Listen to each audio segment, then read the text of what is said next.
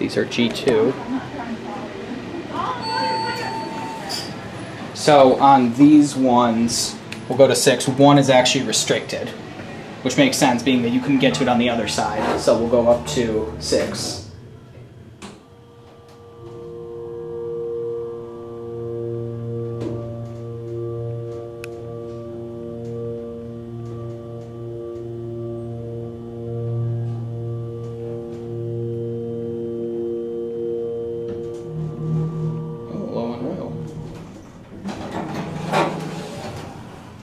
See the atrium. All right, go back down to two.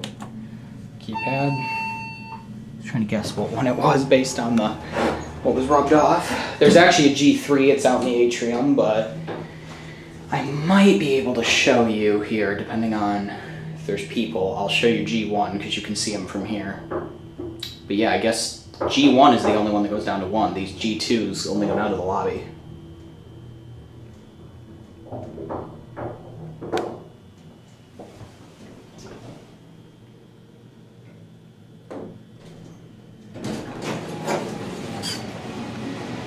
And then,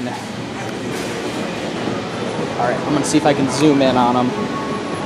That's G1 right there. So yeah, that's it. Thanks for watching. Feel free to subscribe and click like if you like what you see, and follow me on the web, wix.com slash the elevator world slash fans. Bye bye.